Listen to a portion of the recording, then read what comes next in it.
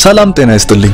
ይህ ኑሮ በዘዴ ነው። ኑሮ በዘዴ ለዚህ ዘመን ኑሮ ወሳኝ የሆኑ ኑሮን ቀላልና ጤናማ የሚያደርጉ ቪዲዮዎችን በየቀኑ የምታገኙበት ቻናል ነው። ጤናንና ሳይኮሎጂን፣ ውበትንና ስራን፣ ፍቅርንና ቤተሰብን ምናልባት እስካሁን ባላየንበት መንገድ እንድናይ የሚያደርጉን እንዲሁም ሁላችንንም ለሚያስጨንቁን ጥያቄዎች መልስ የሚሰጡ ቀላልና ያልተንዛዙ ቪዲዮዎችን በቀላሉ ለማግኘትና ከኑሮ በዘዴ ቤተሰቦች አንዱ ወይም አንዷ ለመሆን subscribe በማድረግና የደወል ምልክቱን በማጥቆር ይቀላቀሉ።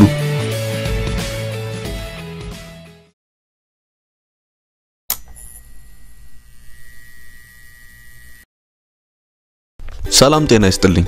ይህ ኑሮ በዘዴ ነው። በሁለት ደቂቃ ውስጥ ሻወር ውስጥ ገብተን መውጣት እንችል ይሆናል። ይህ በችኮላ ወቅት በቂ ነው። ነገር ግን እውነቱን እንነጋገር ከተባለ በሰውነታችን ያሉት የተለያዩ ስርቻዎችና ሰወር ያሉ ቦታዎች ለማጽዳት ከዛ በላይ ጊዜ ይወስዳሉ። በመሆኑም በመደበኛነት ፈጣን ሻወሮችን ብቻ የምንወስድ ከሆነ አንዳንድ በባክቴሪያ የተሞሉ ቦታዎችን እየዘነጋናቸው የመሆን እድሉ ሰፊ ነው። እኚህ ቀጥሎ ያሉት አምስት ቦታዎች በተለይ በብዛት የመዘንጋት እድል ያላቸው ናቸው። ከነዚህ መካከል አምስት ቁጥርን የያዘው እምብርት ነው። ጠዋት ስራ ብለው እምብርት ላይ ለመመራመር የሚወጡ ሰዎች መኖራቸው በራሱ አንድ የሚያስገርም ነገር ቢሆንም እነዚህ ሳይንቲስቶች ግን እምብርታችን በዛ ላሉ ባክቴሪያዎች መኖሪያ እንደሆነ እንድናውቅ አስችለውናል።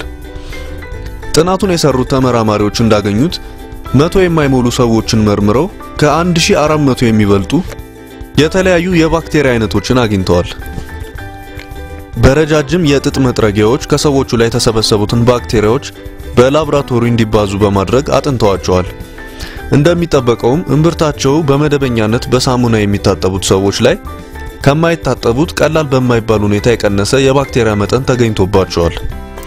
በመሆኑም ይህን ትንሽ የሰውነት ክፍል ነካክተን የምናልፍ ሰዎች ትንሽ ጠለቅ ብለን መግባት ይኖርብናል። አራተኛ ጥፍሮች። ከመጸዳጃ ቤት መልስ ወይም የልጅ ዳይፐር ከተቀየረ በኋላ እጅን መታጠብ ሁሉም ሰው የሚያውቀው መሰረታዊ ነገር ነው። ቢያንስ እንደዛ ተብሎ ተስፋ ይደረጋል። ነገር ግን ምን ያህሎቻችን ከጥፍሮቻችን ስር ያለውን ክፍል እናጸዳለን? በ2007 በእንግሊዝ አስተን በሚባል ዩኒቨርሲቲ የሰሩት አንድ ጥናት ላይ የሰዎችን የጥፍር ቁራጮች ነበር የተመለከቱት። በዚህም ከወንዶች 24% ከሴቶች ደግሞ 15% በሚሆኑት የጥፍር ቁራጮች ውስጥ ጎጂ ባክቴሪያዎች ተደብቀው ተገኝተዋል። የጥናቱ መሪ እንዳለው ከሆነ ከነዚህ ባክቴሪያዎች የከፉ የሚባሉት ማስመለስንና ተቅማጥን ሊያስከትሉ የሚችሉ ናቸው። በመሆኑም ከጥፍሮች ስር ያለውን ቦታ ከመጸዳጃ መልስ እና የጎጂ ባክቴሪያዎች መገኛ ሊሆን ስለሚችል ጥሬ ስጋ ከነካን በኋላ ማጽዳት በጣም ወሳኝ ነው። ሶስተኛ የራስ ቅል ብዙ ሰዎች ጸጉራቸው ላይ ሻምፑ ከተጠቀሙ በኋላ የራስ ቅላቸው ትዝ አይላቸውም። ነገር ግን እንደ እውነታው ከሆነ የራስ ቅልን በተገቢ ሁኔታ መንከባከብ እንደ ማሳከክና መፈርፈር የመሳሰሉ የተለመዱ የራስ ቅል ችግሮችን በሩቁ ለማስቀረት ይረዳል።